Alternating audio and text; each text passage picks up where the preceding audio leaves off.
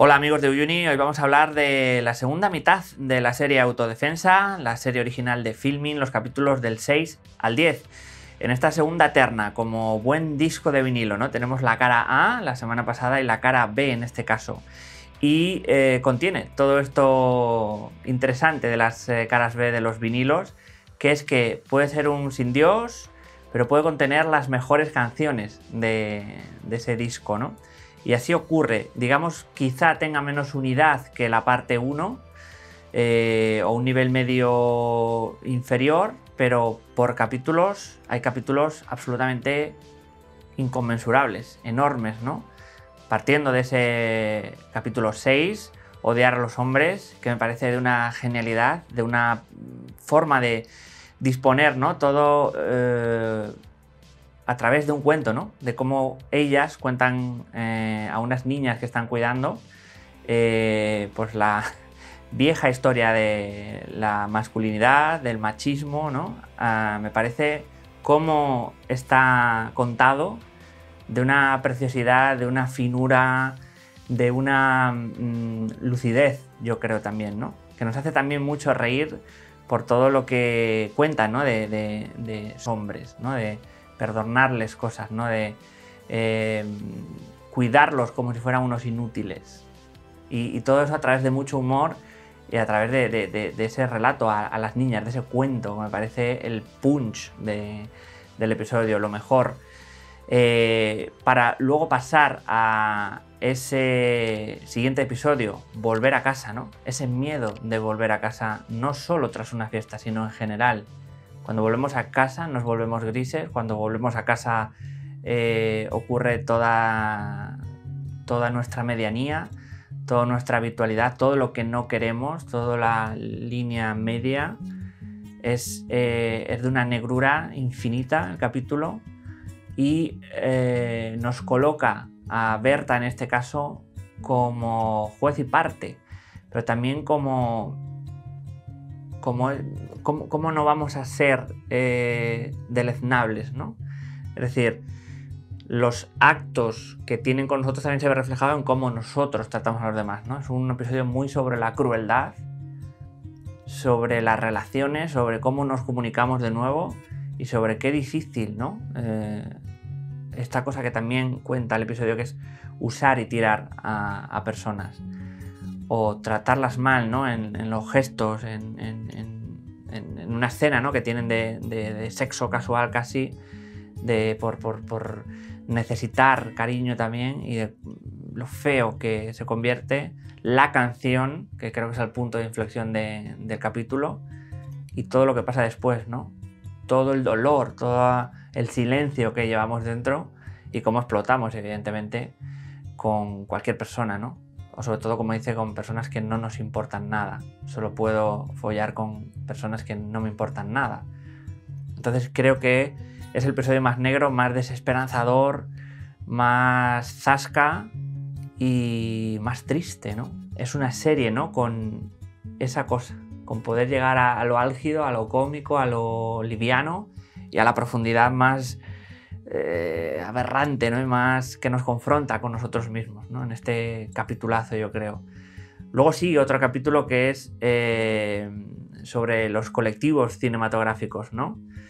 Y que es muy interesante, cómo empieza con esa voz en off, presentándonos a unos personajes como muy cool, muy wannabe, muy moderner, muy que se van a comer el mundo, y todo lo que encierra de la industria, sobre todo de los eh, abusos eh, en este caso de hombres hacia mujeres, sean actrices, escritoras y todo lo que eh, todo el mundo sabe, pero nadie acaba diciendo, ¿no? Acaba, uy, yo no estaba ahí, yo no sé nada, ¿no? Por, el hecho de perder trabajos. Es un episodio que está ahí en la línea, en el límite, en la frontera, casi de aleccionar. A mí es lo que menos me ha gustado de ese episodio, pero que al final es que tiene más razón que un santo todos esos comportamientos que vemos que o que hemos oído o que hemos sabido, ¿no? Y que la industria eh, casi eh, mutea, ¿no? Como, no, esto no, interesa. Y como también, de nuevo, la paradoja también de, las dos protagonistas que tienen en su mano pues un vídeo controvertido y que pueden decidir usarlo o no, ¿no? pero que al final eh, esta cosa de, de, los Me de, de, todo esto, ¿no? ¿Hasta qué punto puedo decirlo o no? Y hasta qué punto depende mi carrera de esto o no. Para llevarnos a una situación final, pues también interesante, ¿no? En cuanto a eh, todas las actrices mirando a cámara y, comentando, ¿no? Todo lo que sabemos en una industria, por otro lado, o en muchas ocasiones podrida, ¿no? En cuanto a cómo se consiguen las cosas, los abusos de poder, de influencia también, eh, lo que parece ser que son eh, las grandes nuevas esperanzas del cine nacional y que esconden a muchas veces abusadores, ¿no? Eh, a, esa fina línea entre la fiesta, la noche, la relación sexual, lo consensuado, lo no gracias a mí te vas a convertir en una gran actriz, todo eso, o sea, se trata de una manera eh, directa, sin paliativos y, sobre todo interesante. Pero ya digo, está ahí como en el límite de la leccionar, casi como a veces puede parecer manifiesto. Pero es muy interesante el capítulo, por otro lado. Es decir, tiene algo que te hace. que es árido, que es eh, incómodo. Y eso está guay. También la serie puede llegar a ser eso. Nos vamos al siguiente episodio que es una especie de no todo. Eh, el Evangelio de Humberta y Belén, así en blanco y negro también, muy cortito, muy 3 minutos 30, muy no film, en el que también, ¿no? Eh, eh, bajo una marcha casi religiosa, pues erigen las dos y empiezan a decir como verdades, ¿no? Este es el, el episodio que más cambia el tono respecto a los otros y que nos coloca en un sitio más arty o más de ejercicio de estilo, ¿no? por así decirlo. Y llegamos al final, ¿no? A, buscar el after, ¿no? Buscar la última luz, buscar la, eh, eh, el último, eh, la última sensación, buscar el último impulso, ¿no? Lo que nos, lo que nos mueva después de una fiesta, ¿no? Que estamos reventados, ¿no? Habla también, como ocurría en la mitad anterior, sobre la amistad, sobre los lazos, sobre esas noches locas, pero locas por, lo, que se, por lo que va pasando, ¿no? por lo que se va presentando, por esas noches de conversaciones, de música, de entendimiento, de felicidad, ¿no? Se ve siempre como en una tribu, ¿no? A, las protagonistas y a sus amigos, ¿no? Eh, recorriendo la ciudad. Casi una ciudad eh, que no tiene nombre, ¿no? En, pisos, en aceras, en túneles. Es decir, siempre es un trayecto. Y la fiesta, más que la fiesta en sí, lo interesante es el trayecto hasta, el trayecto durante o el trayecto después. O también a quien admiramos en esa fiesta, ¿no? Como la escena de la chica que empieza como a bailar, ¿no? Con las piernas torcidas, ¿no? y cómo simplemente admiramos. igual necesitamos esos momentos de desconexión para entendernos un poco más y para dar sentido a, lo que yo creo que significa una fiesta ¿no? en lo actual, que es eh, evadirnos de todo, olvidarnos de todo, olvidarnos del estercolero, que es nuestra vida de lunes a viernes, vamos a decir, o, habitual, ordinaria, y cómo es eh, la válvula de escape, ¿no? más allá de las drogas o del beber o de enrollarse con uno con otro, que eso es más irrelevante. Simplemente son cosas que ocurren durante la noche y durante el desenfreno y durante ser felices, ¿no? Dejarnos llevar. Muchas veces esto que falta tanto en la sociedad moderna.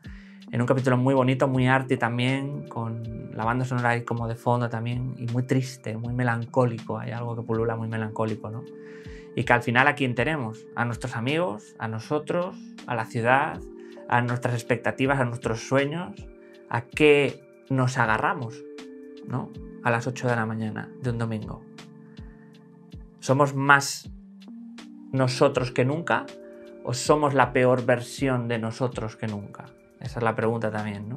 Yo creo que tienen las dos cosas, ¿no?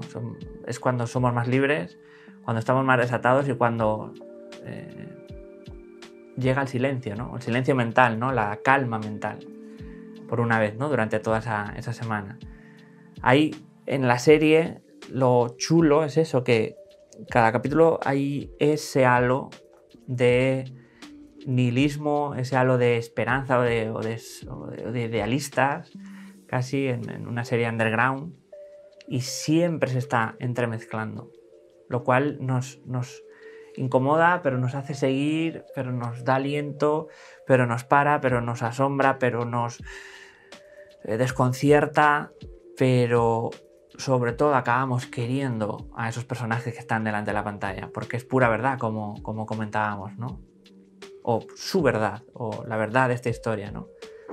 Me creo todo lo que ocurre. Normalmente uno de los problemas del cine es que cuando vemos una fiesta es falso, está todo emperifollado, está perfectamente todo dispuesto y aquí eh, la cercanía, lo que ocurre, la complicidad entre personajes, las contradicciones también, ¿no? Eh, o parecer que estamos en un sitio y de repente, ¿no? Eh, estar en otro. Las personas a las que conocemos durante la noche, que también es algo que refleja muy bien la serie. Que probablemente sean gente que no volvamos a ver nunca más, pero que se agregó en esa eh, procesión de personas, amigos, espacios nocturna, ¿no? Y diurna también. Que al final la mayor verdad es cuando, cuando viene el alba, ¿no? Cuando más somos nosotros eh, desnudos, por así decirlo, totalmente. Así que, como digo, es una segunda parte más irregular, pero que tiene más, momentos más cruciales, más cuchillo, más zasca, ¿no? Y bastante diferente de la primera parte, que tenía un tono más eh, en equilibrio y aquí es como vamos aquí, vamos allá y lanzamos las cartas, en definitiva.